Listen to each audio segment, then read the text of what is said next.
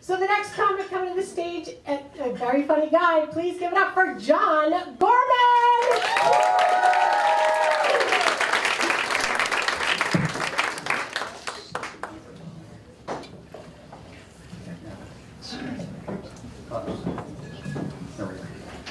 Oh, thank you very much for coming out tonight. Uh, know, there's something I don't understand. Why is it that we require children in elementary school to pledge their allegiance every single day? Like, what are they going home and switching their loyalty overnight? Are they home? Are they going? Uh, hey, mom, when I finish my addition homework, can we read that Kim Jong Un book again? so, in New York, they're considering a bill that will require sex education starting in kindergarten. All right, you just think, how's that going to work? Oh, what'd you learn in school today? Uh, let's see, my ABCs, two plus two equals four, and you can still get pregnant even if you pull out. so, sorry, that's not me. So, you know, one thing about, sorry about that, you know, uh, what's up with this country never adopted the metric system? Was it really that hard? There are literally three countries that haven't adopted the metric system. The US, Myanmar, and Liberia.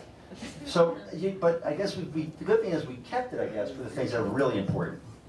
Cocaine and hard alcohol. So some of my friends like to say that 60 is the new 40. No, it isn't. When I was 40, I made dinner reservations for after 7 p.m. and I didn't spend the whole night going, wait, I'm sorry, what did you say? and when I was 40, if I want to lose a little weight, I'd cut back to two, three slices of pizza. Now I cut back to half an avocado in my arugula salad. now, I'm trying to, uh, I don't want to get set in my ways. I'm trying to be more spontaneous. And uh, so if I see an ad, for something I like, I just go for it and buy it. Which explains why I have a vacation in Angola next month. um, you know, I'm a very, very lucky man. I've been married for 35 years.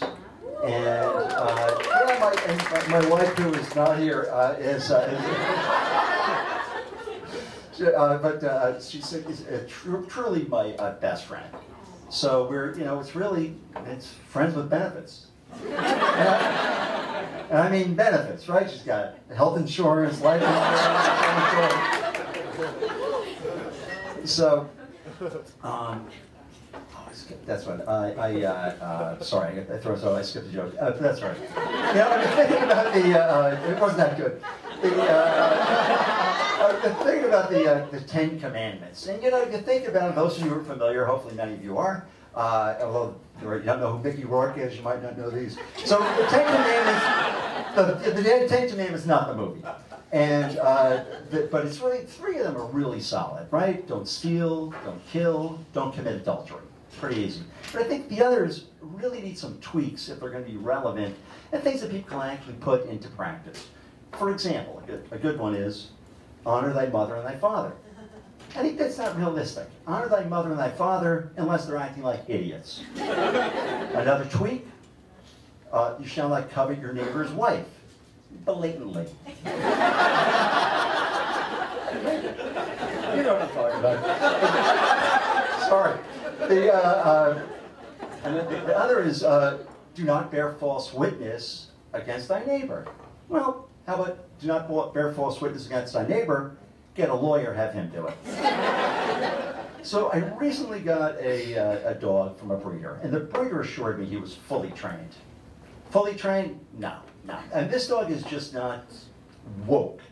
He's just, there's just so much inappropriate, the sniffing and the licking and the mounting. And you know, what I'm afraid of, and you know, it's, he's a little fluffy little guy, a little Pomeranian, is what I'm really afraid of is one of these days he's going to hump the wrong German Shepherd and get canceled entirely. so please enjoy the rest of your evening. Thank you very much